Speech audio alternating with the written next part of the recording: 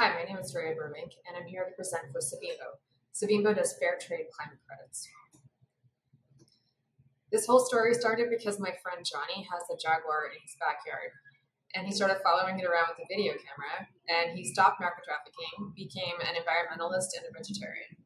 And uh, I think you guys understand that if you start to study the outliers in our world, things, people who do things right, you can learn novel things than if you're just studying problems.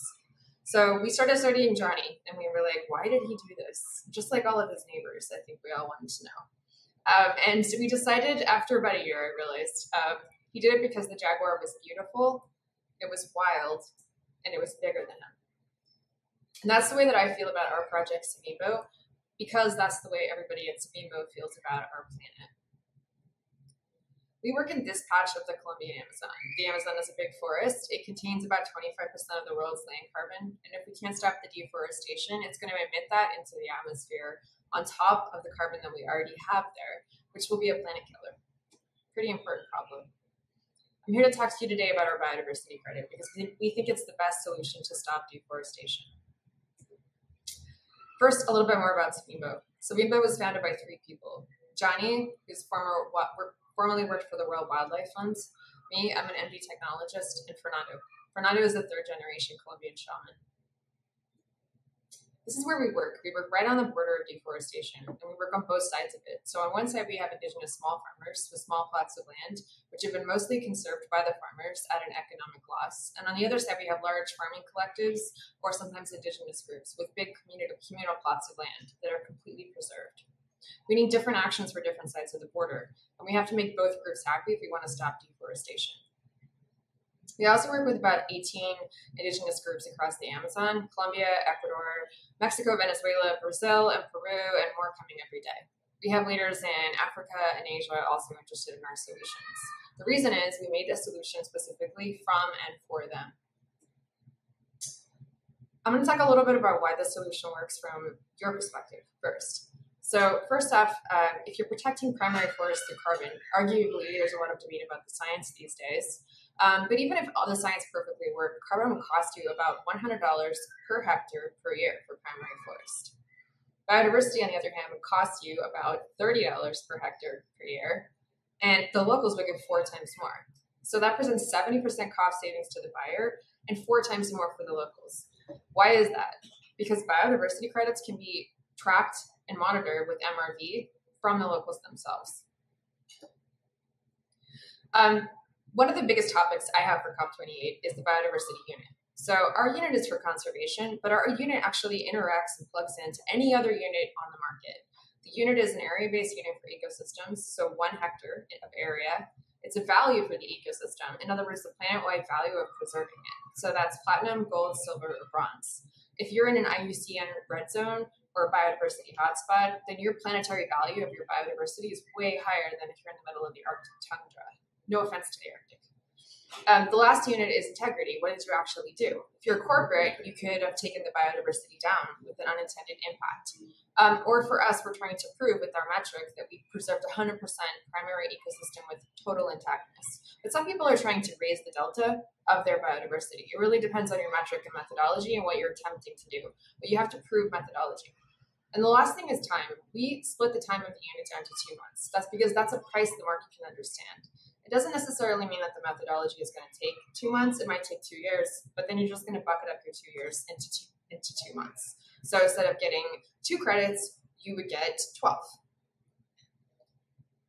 Um, one last thing about the value. So we took 14 schemas and flattened them all down into platinum, gold, silver, and bronze. That's IUCN, World Wildlife Fund, UNFAO, Holdridge, Ramsar, you name it.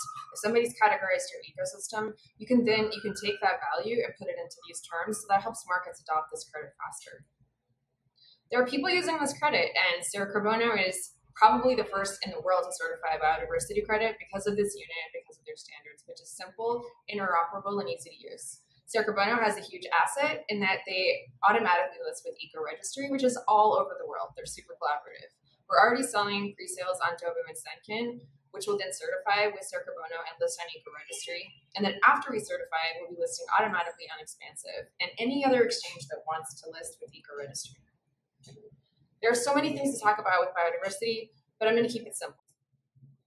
Our biodiversity credit works in any ecosystem on the planet. Yeah, marine, it works in jungle, it works in forest, desert, savanna, you name it, it works. And here's why.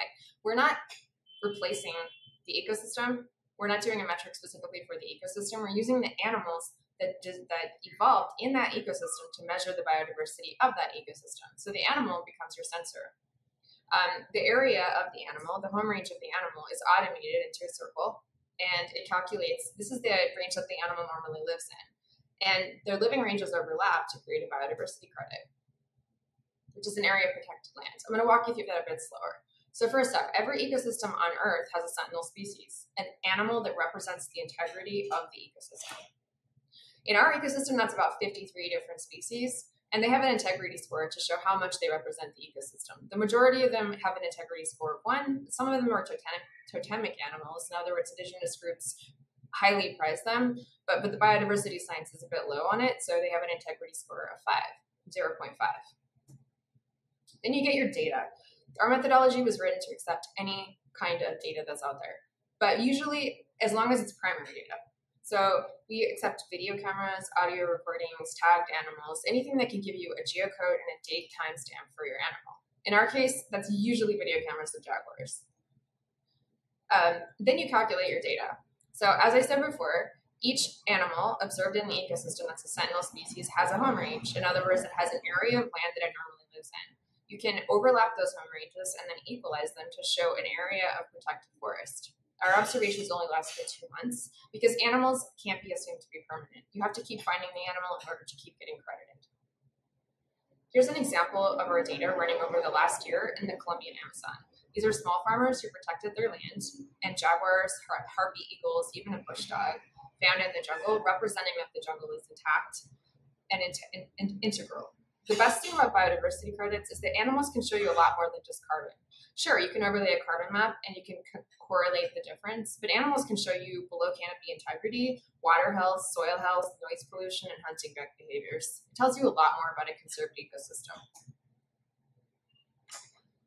I think it's really cool that we've done this biodiversity credit, but um, I think the coolest thing is that in the Amazon, there is not a lot of institutional funding. In other words, for people in the Amazon to get funding, they really have to go outside the borders of the Amazon and get people around the planet to care about it. The Amazon is one of nine planetary tipping points, and we've already crossed six of them.